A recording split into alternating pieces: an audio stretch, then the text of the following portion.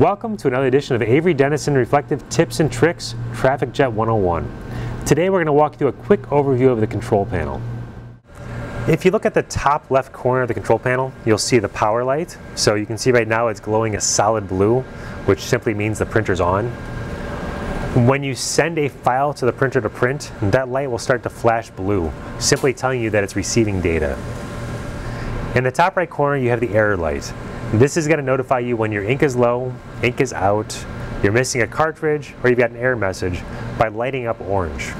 So just to give you an example, I'm going to pull the cartridge out of spot 4. So you can see now my light is glowing orange and it gives me the message 4 no cartridge which simply means we're missing a cartridge from spot 4. It's going to give you a very similar message if you are your ink is low and the cartridge needs to be replaced or the ink is out completely from the system. So in every case, it's going to tell you which location you need to have a cartridge replaced.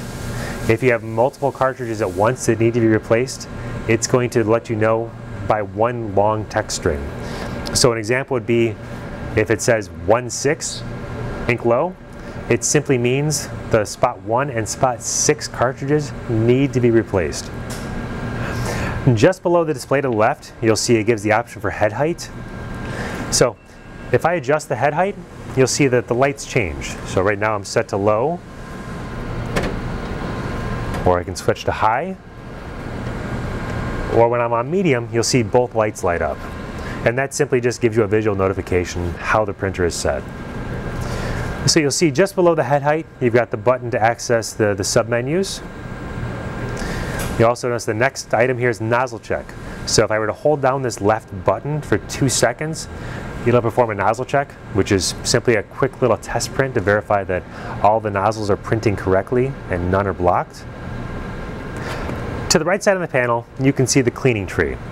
So in the top right, you have the, the length of your clean. So if you tap the button, you can cycle through the different lengths, going from a long clean to normal to short.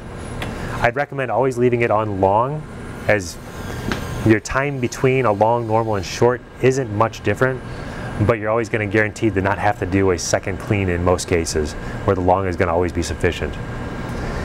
The other option here is actually to initiate the cleaning cycle. So if you hold down the right button for two seconds, it's going to initiate that cleaning cycle based on whatever length you have selected here.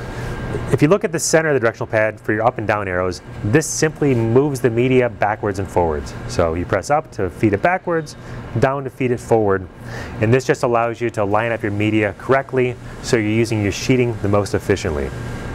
In the bottom right corner, you'll find the button for enter or to initiate a crosscut. The enter button is simply used within the submenus on the control panel to move from screen to screen. The cutting, if you hold it down for two seconds, It'll initiate a crosscut. Unfortunately, the cutter does not have enough force to cut through prismatic retroreflective films, so I wouldn't recommend using it for, for most applications.